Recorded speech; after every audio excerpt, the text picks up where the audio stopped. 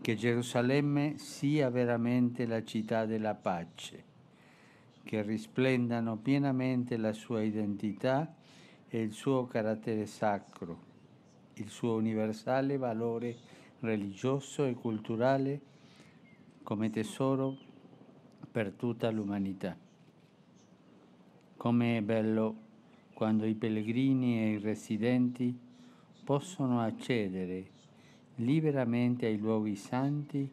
e partecipare alle celebrazioni.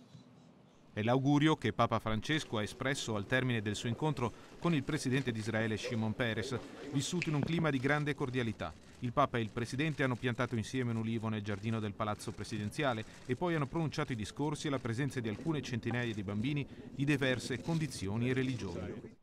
Va respinto con fermezza, ha detto Papa Francesco, tutto ciò che si oppone al perseguimento della pace e di una rispettosa convivenza tra ebrei, cristiani e musulmani, il ricorso alla violenza e al terrorismo, qualsiasi genere di discriminazione per motivi razziali o religiosi, la pretesa di imporre il proprio punto di vista a scapito dei diritti altrui, l'antisemitismo in tutte le sue possibili forme, così come la violenza o le manifestazioni di intolleranza contro persone o luoghi di culto ebrei, cristiani e musulmani.